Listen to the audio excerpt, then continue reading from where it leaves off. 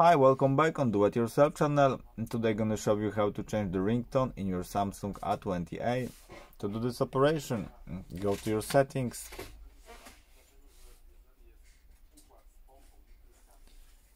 And check for sound and vibration.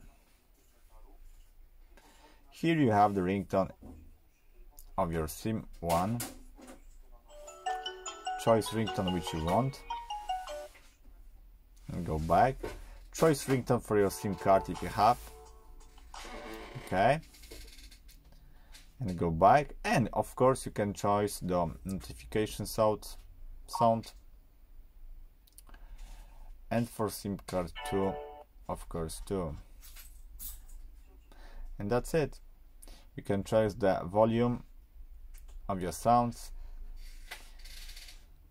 And I hope you choose your your very well music to get ringtone on your contacts. So, I hope the video is helpful for you. If yes, you can leave like, leave comment and leave subscribe and see you by next video. Hey!